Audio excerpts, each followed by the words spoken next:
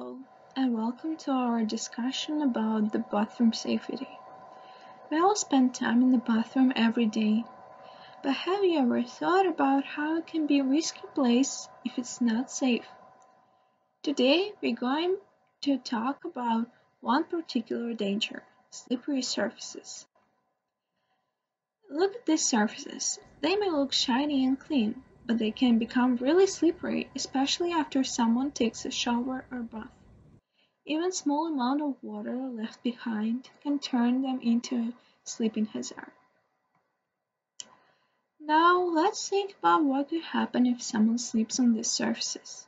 Imagine if someone like me, stepping out of the shower, loses their footing and falls.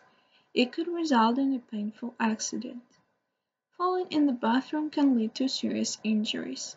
It could hurt my arm, my leg, or even hit my head on the hard floor.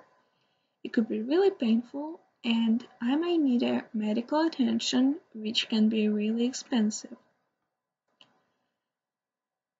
So in these types of situation, family members who are using the bathroom, especially the one that has mobility issues or young children, are at risk of slipping and falling on these wet surfaces.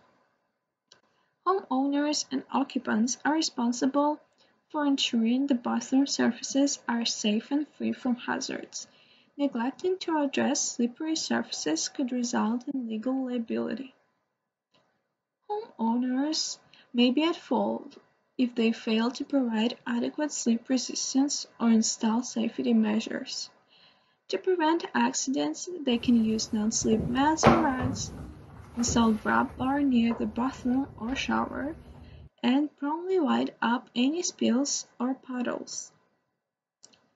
The homeowner may argue that they have taken reasonable steps to minimize slip hazard, such as installing safety measures or promptly addressing the spills. However, it's crucial for them to remain vigilant in maintaining the safe bathroom environment.